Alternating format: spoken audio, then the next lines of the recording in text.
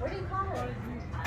It's called an A. Henkel's leaf tail gecko from Madagascar.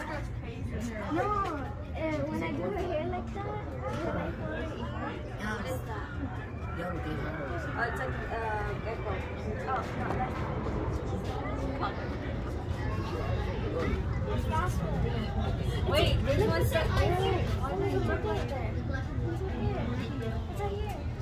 There's two. There's two. Where? Right there. Oh. Three. Well, there's a snake here too. Oh, well then.